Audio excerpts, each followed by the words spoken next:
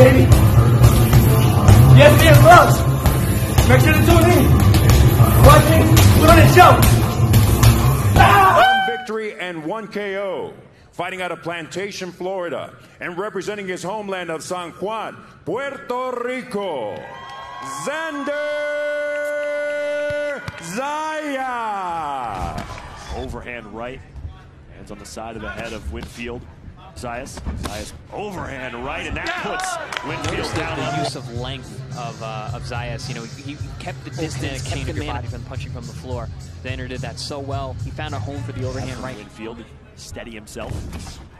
Back to those power punches and just backing Winfield into the Hit corner. man, throw up straight to the body.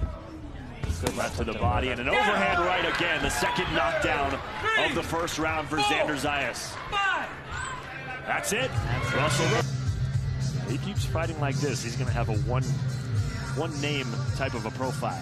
Won't be calling him Xander Zayas. He'll be calling him Xander, and everybody will know. Big smiles from the 17-year-old. G5 Jeff TV. Hit the subscribe button, hit the like button, hit the share button as you come on in. Big shout out to all the sponsors of the channel. All the information is in the description box. And follow your boy on Instagram and Twitter at BoxWithG5 Jeff TV. Now, on the undercard of Joe Smith and Jesse Hart tonight in Atlantic City Hard Rock Casino, we got a really, really young prospect. And when I say young, I mean really, really young.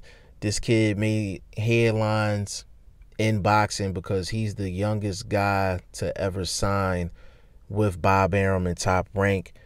And his name is Xander Zayas. And he signed with top rank at 16. I think that goes to show how much of a talent they think he is. Signed him at 16 years old. He's going to be fighting on the undercard. He's going to be going up against Corey Champion. And I'm really interested to see how they move Zayas along. I mean, you've seen the highlights in the beginning of the video. He definitely look he fights like an older fighter. Like he don't fight like a young fighter. Look like he has a pro style.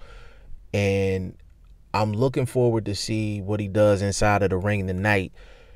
And you can't take for granted the stage.